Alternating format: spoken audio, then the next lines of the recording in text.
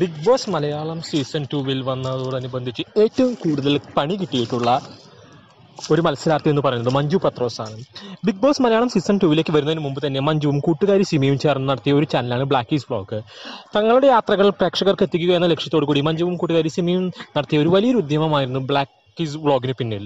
ഒരുപാട് യാത്രകൾ നടത്തി അത് പ്രേക്ഷകർക്ക് മുന്നിൽ എത്തിക്കുന്നതിൽ ഇവർ ഒരു പരിധി വരെ വിജയിക്കുകയും ചെയ്തിട്ടുണ്ട്. മല മല മഴവിൽ മനോരമ നടത്തിയ വെറുതെയുള്ള ഭാര്യ എന്ന പ്രോഗ്രാമിലൂടെ മിനി സ്ക്രീൻ പ്രേക്ഷകർക്കും മലയാളികൾക്കിടയിൽ തന്നെ ചെറിയ പരിചയം നേടിയ ഒരു കലാകാരിയാണ് മഞ്ജു പത്രോസ്. അതുപോലെ തന്നെ അതേ പ്രോഗ്രാമിൽ വന്ന മറ്റൊരു കണ്ടസ്റ്റന്റ് ആയിരുന്നു സിമി.